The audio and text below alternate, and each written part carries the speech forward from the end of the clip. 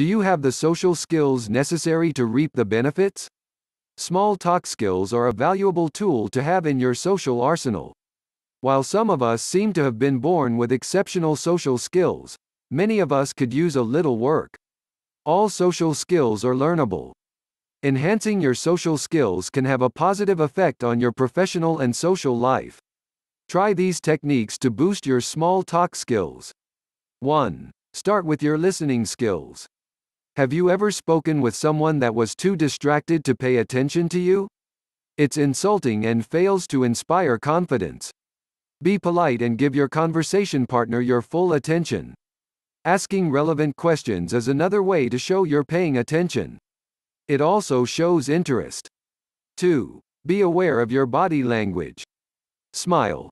Maintain good eye contact. Keep your body open, and lean forward. Your body communicates more than you think. Keep your body language in mind. 3. Start the conversation with a compliment or comment. You can ask a question about the other person's shoes or inquire if they've had a chance to try the amazing spinach dip. A sincere compliment is also an effective way to start a conversation. Avoid being excessive. If the other person feels uncomfortable, you've gone too far. 4. Have a list of interesting questions prepared. You wouldn't go into battle with an unloaded gun.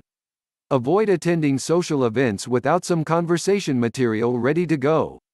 Avoid the usual, where did you go to school? types of questions. Try these instead. What are you passionate about? How do you like to relax? What's the best movie you've seen this year? What's the most exciting thing happening in your life right now? Describe your perfect weekend. 5. Practice, practice, practice. New skills are awkward at first.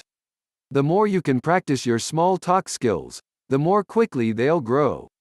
Take advantage of every opportunity to put your skills to work. There are people everywhere.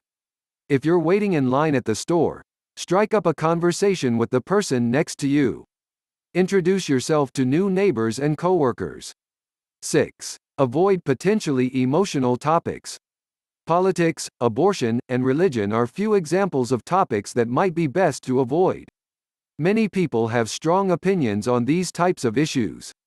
You might find yourself with more on your hands that you bargained for. 7. Be the host. Regardless of where you're practicing your small talk skills, pretend you're the host, rather than the guest. As the host, you're proactive and focused on making sure that others are enjoying themselves. 8. Know how to exit the conversation. Not every conversation will be productive or enjoyable. If you're not enjoying yourself, the other person probably isn't either. There's no reason for both of you to suffer. Simply say, It was nice chatting with you. I hope we can do it again, and then move on to the next person. 9. Relax. When you're nervous, you make the people around you nervous, too. Take a deep breath and stay focused on the interaction. With a few conversation starters memorized, you have nothing to fear. A few, good questions will keep the other person talking most of the time. 10. Be interesting. Boring conversation topics lead the other person to believe that you're boring, too. Be bold. Be interesting. Let your true personality shine. It's okay to be different from everyone else. Do you dread social gatherings because you feel uncomfortable making small talk? Many parts of life are easier and more enjoyable when you're able to express yourself comfortably. All skills require time to master. Begin working on your social skills today. Stay tuned for more helpful videos covering local SEO, social media and other marketing tips coming soon.